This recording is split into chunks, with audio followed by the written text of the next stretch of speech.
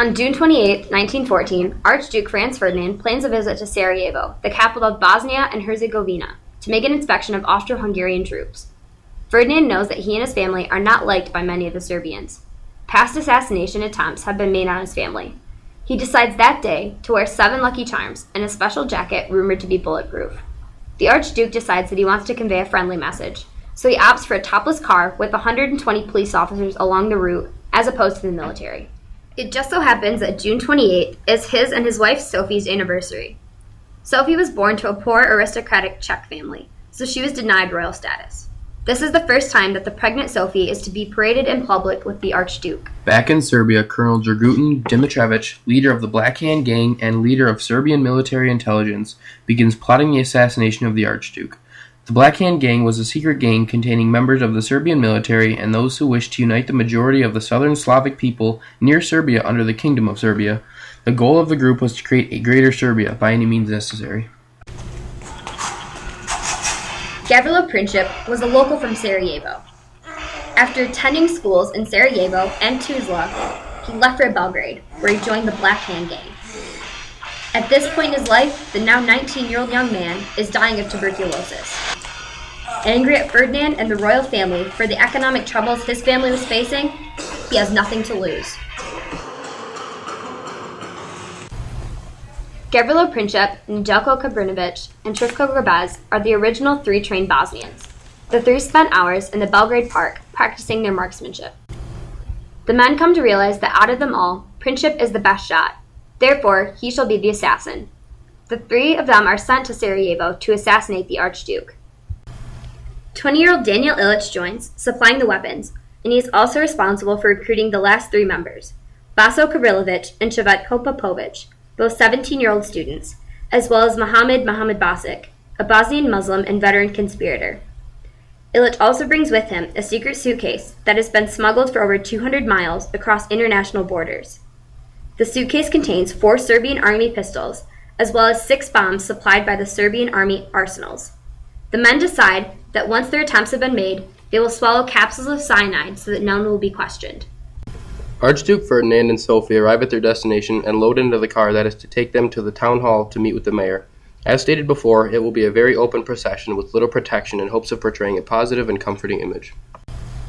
The men get into positions. Mohammed is up first and is armed with a pistol. This is not his first attempt at an assassination. Years before, he was supposed to kill the governor. For whatever reason, he was unsuccessful. It just so happens that on the same day, the governor will also be in a car behind the Archduke. Mohammed Basic is very nervous. Next up is Kabrinovic. Kabrinovic is armed with grenades. He asks a policeman to point out the actual car in which the Archduke will be traveling. Princip strategically places himself in the middle, armed with a pistol to ensure that the job will be carried out. Further down, the two schoolboys place themselves on either side of the street, armed with grenades. Grabez is even further down, also armed with a pistol. Despite providing the weapons, Ilic decides that he is unwilling to kill and watches instead. The men anxiously await the arrival of the car. Mohammed Basic has the first opportunity. He, for some reason or another, is unable to and does not act. There are still six more assassins ready to ensure that the job is completed. Next is Kabrinovic. Kabrinovic has also contracted tuberculosis, so he too has nothing to lose. He throws his grenade without hesitation, but forgets the 10 second delay. The Archduke car passes over, and instead, the car behind him is hit and injures a few. Kabrinovic wastes no time. He takes the cyanide and jumps into the river to ensure that he will not be captured. The remaining assassins are too stunned to act. To Nedeljko Kabrinovic's dismay, the cyanide he has taken seems to be ineffective, and the river is only four inches deep. He is captured immediately and sent away for interrogation. As he's being captured, he says, I am a Serb hero. The Archduke is able to get away unharmed, and quickly heads to town hall to meet with the mayor. He expresses his anger to the mayor as the mayor attempts to share his speech that he has previously prepared. The Archduke responds, What is the good of your speeches? I come to Sarajevo on a visit and I get bombs thrown at me. It is outrageous. They take the meeting inside. The gang decides that there's nothing left for them to do at the moment amidst all the chaos. Unsure what to do next, they disperse. Meanwhile, Kabrinovic is being brutally interrogated for information on who he is affiliated with. Here, Kabrinovic says, No one but me in Sarajevo knew about this bomb, but Nedeljko Kabrinovic does not break. Once the meeting at Town Hall is over, the Archduke and Sophie are joined by Count Harrach, who insists on joining the car for added protection. the Archduke decides that he wants to visit the members of his protection that were wounded by the grenade at the hospital. The car sets off. After separating with the group, Gavrilo Princip heads off to the corner of Franz Joseph Street to purchase a sandwich at Schiller's Delicatessen. While eating his lunch, he looks out at the road and is amazed at what he sees. Somewhere along their way to the hospital, the Archduke's car takes a wrong turn, placing them right at this very same corner. Gavrilo Princip wastes no time and quickly heads out to the car to complete the mission that just hours earlier appeared to be a lost cause. Initially, it doesn't appear as though anyone was actually harmed, until the Count realizes the Archduke has been shot. Sophie shouts, For heaven's sake, what happened to you? before she sinks down in the seat. The Archduke shouts, Sophie dear, Sophie dear, stay alive for our children.